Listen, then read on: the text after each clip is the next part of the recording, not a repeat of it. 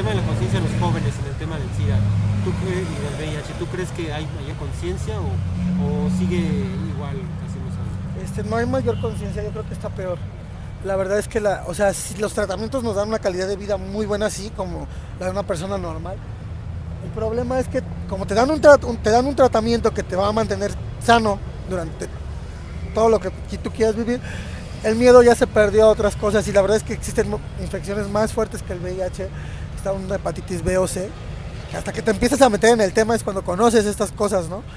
Y este, yo creo que información hay, que no la quieren es otra cosa, hay medicamentos que ya también previenen, la, previenen esta parte de la transmisión, que es el PRED, que ya en varios países se está usando, que se va a usar, ya se está también aplicando en México y para el próximo año viene como un poco más estructurado y es como, como esta moral que entra de que muchos chicos lo ven como un permiso para ir a tener relaciones sin condón o como, ah, ya, ¿qué, qué, puede pasar? ¿no?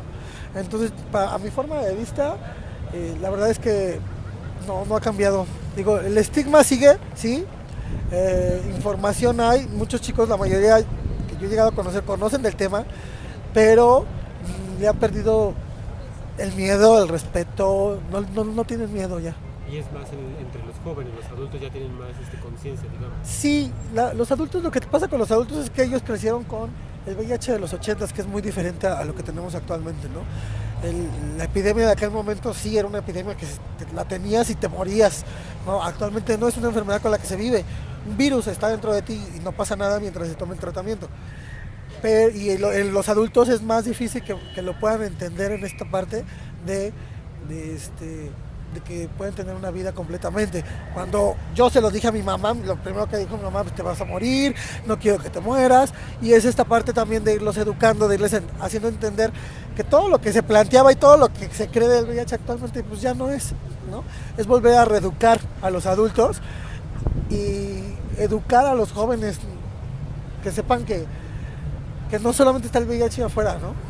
Que ya después de que lo tienes, después de que te informas, te das cuenta que existen muchísimas cosas peores allá. Y, este, y eso es a lo que no, no, este, no, se, no se les está enseñando. Digo, el 40% de la población en México no usa condón. Y esas estadísticas son de los años 70 y sigue la misma estadística. No cambia, estamos en el 2016. Y el problema es entonces por qué la gente no quiere, o sea, no quiere utilizar un condón, simplemente no quieren.